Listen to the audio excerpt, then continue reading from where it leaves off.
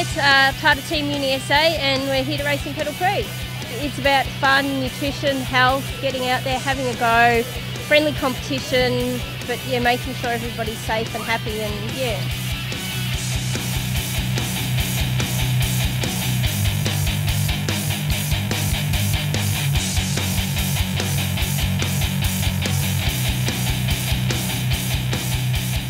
Uh, my name's Phoebe, and I'm doing the 24-hour pedal Prix. I saw this um, ad at our school, and I thought I might as well just give it a go.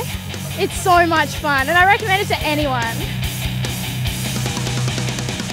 I've become involved in this uh, through the UniSA Cycling Club. The race is based on a, a 24-hour period from 12 o'clock on Saturday till 12 o'clock uh, Sunday, and uh, the aim is to get as many laps as possible during that time.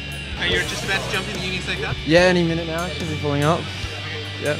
So how often do you do the changes? Uh, it's roughly between 20 40 minutes. We try we try and aim for greater than 30 minutes, but everyone's still trying to gather some consistency at the moment.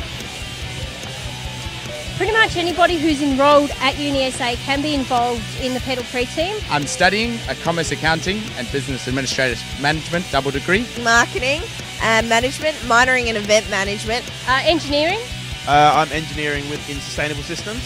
Just a bachelor of commerce. Sport and event management, Australian studies. engineering as well. And I'm a third year marketing and management student from UniSA. To be involved, you do not have to be a rider. You can come up, you can help be part of the pit crew. If you're interested in just the mechanics of the bike, come up and look after that. You don't have to ride to be involved. Michelle's done a lot of the preparation beforehand. I've only just come on recently, but it's more just the maintenance side I've been looking at. So just fixing up, making sure it's ready to race, just getting everything ready, making sure it's ready for the 24 hours. Yeah.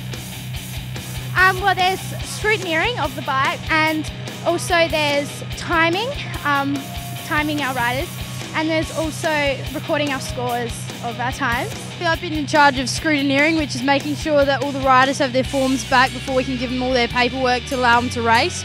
So we've got to make sure that that's done, that their bikes meet all the specifications for safety.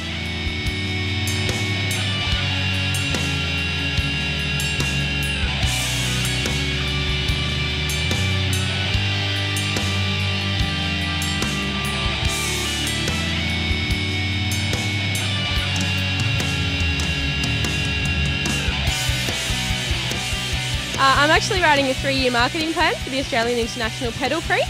Um, for one of my uni subjects, I'm able to analyse the whole situation, do a lot of market research, and will recommend some strategies for the organisation to continue.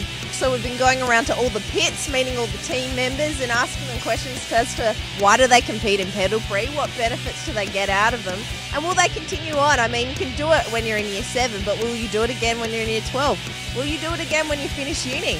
We've also done some online surveys to see the motives behind participation in the event. Uh, and today we'll be doing some more surveys and just speaking to some of the sponsors, the Murray Bridge Council, UniSA, um, and a lot of the parents as well to see what commitment it takes to be part of this event.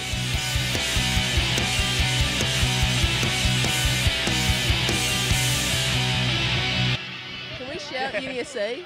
Yeah. One, two, three. UniSA!